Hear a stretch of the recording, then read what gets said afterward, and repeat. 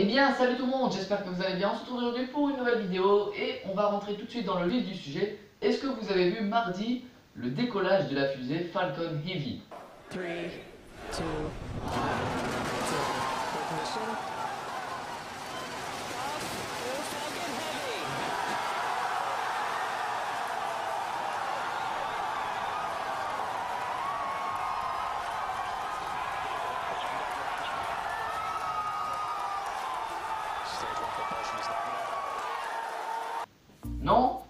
on va en parler rapidement. Et si vous l'avez vu, tant mieux, au moins vous connaissez bien le sujet.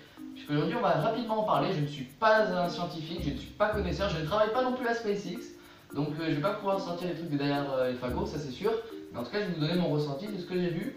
Donc, déjà pour commencer, SpaceX, qu'est-ce que c'est? Bah, C'est tout simplement les concurrents de. de la NASA, voilà.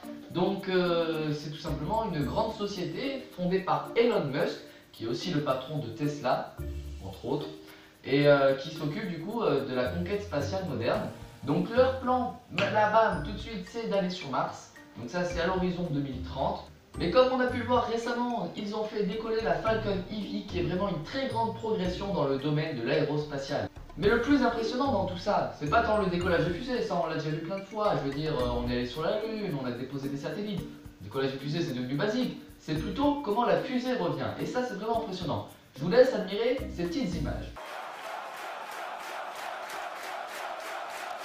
And that landing burn has started. Both boosters looking to be on track towards their respective landing zones. landing burns have started.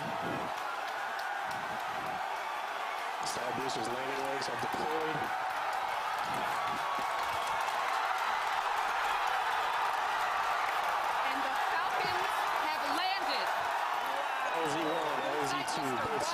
Alors, pour ceux qui n'auraient pas compris, tout simplement, les boosters, c'est-à-dire les deux parties qui composent euh, la fusée et qui normalement euh, se séparent d'elle après avoir euh, déjà atteint des bons kilomètres, retombent sur Terre. Voilà, c'est vraiment, vraiment que des réservoirs avec une fusée, il n'y a rien dedans, rien de plus.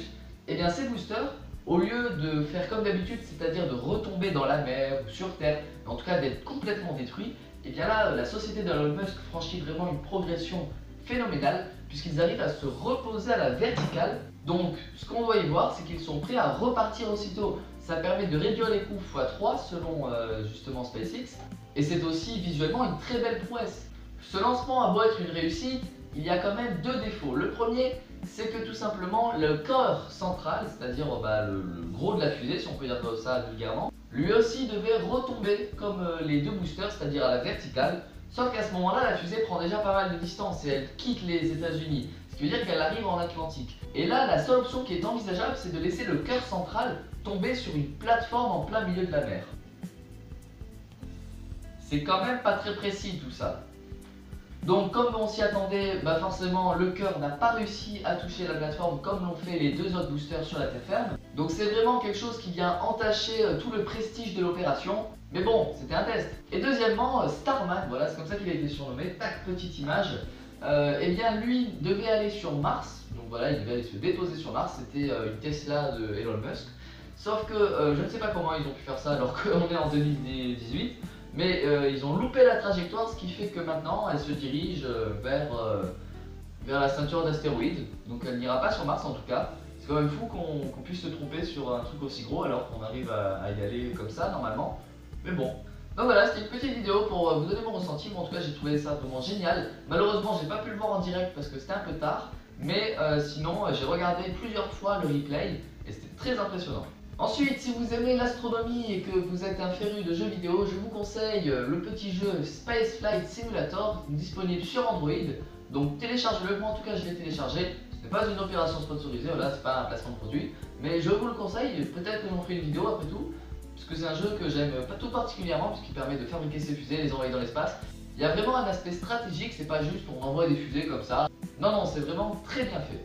Sur ce, je vous dis merci d'avoir regardé cette vidéo. N'oubliez pas de me mettre dans les commentaires si vous avez vu la vidéo. Et sur ce, je vous dis bye bye